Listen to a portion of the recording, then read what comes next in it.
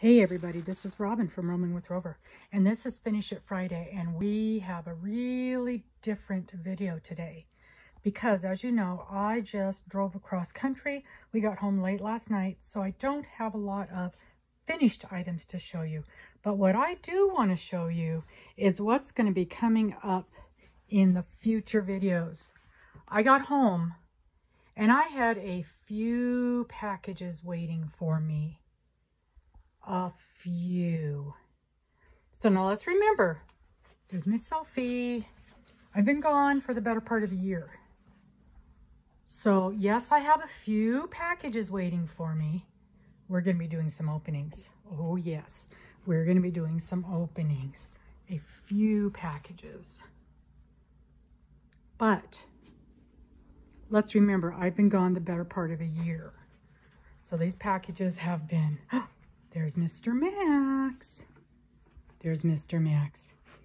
These packages have been stacking up for almost a year. We did a rough count. We're looking at somewhere near 60 packages. And I still have a few more in the post office box that I have to pick up. Probably like four or five more maybe. So over the next few weeks, we're going to be doing a lot of unboxings. Now, as far as actual Finish It Friday stuff, this is the blanket, the blue blanket I've been working on. It's still not done, but it's almost done. And I'm really, really liking the way that it's turning out. And I'll show you the yarn. This is all we have left. So however much yarn that makes this is how long it's going to be. And this is just, isn't that pretty? I love the design on that. It is a Bag O Day pattern. And I think she called it the dry, dropped, something to do with that stitch. The dropped cluster or something like that. I don't know. And I'm just using your basic red heart, red heart super saver ombre. And this color is deep teal. These are a big skeins though. It's a 10 ounce skein has 482 yards, so nearly 500 yards. So this is going to have nearly 1,500 yards in it when it's done. And when it's done, I'm going to pack it up and send it back down to Texas. That's the only thing I'm working on these days. Because as you see, I got a bunch of stuff to unpack. Now, it's not all yarn. Most of it is. I'll be honest. But there's a lot of Pampered Chef stuff in there too. I am a Pampered Chef distributor. So um, some of my packages are that kind of stuff. So if anybody needs any Pamper Chef, give me a holler. There's Max again. The dogs are loving having this extra big space instead of being crammed into the motorhome. They really, really like this space. Sophie. Hey, Miss Sophie. There's Miss Sophie. She's excited to be home too. So we're going to have some unboxings. Absolutely have some unboxings. And see what all we got. I do know a few things. That bright yellow box, that's my knitting machine. And this box here on top, that is my mystery box from Bag O Day that I was able to get several months ago.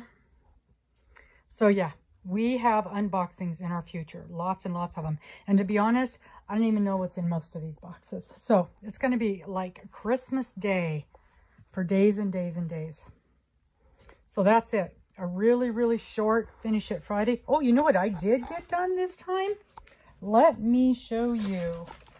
So remember the great big mess of yarn that we got from that tangled yarn, that tangled yarn thing. Look at this. I've got them all separated, all separated. I put them in baggies just to keep things from falling apart. There we go. And they are ready to use. And I have decided what I'm going to do with them. Here's another little one. This is the only one I really liked. I decided what I'm going to do is I'm going to make a, um, oh, what do you call it? Um, when you're using up all of your ends and things, I'm going to make a basket and you put two or three colors together at the same time and um, a scrap basket. That's what they call it. I'm going to make a scrap basket out of that yarn. two or three colors at the same time. And then that way it'll kind of make a marled effect and it'll change the colors on these things. So got that done. That's the only really thing I finished this week was getting that yarn untangled. And I just did that as we were driving along in the RV and it worked out really good. It was a great project for while I was in there because I couldn't really count or um, do a lot of stitching. But anyway, that's it. Finish it Friday this week.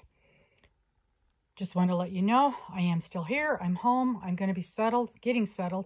I still have to unpack my whole house from when we moved and unpack and clean up the RV from living in it in the dirt and the muck for a year.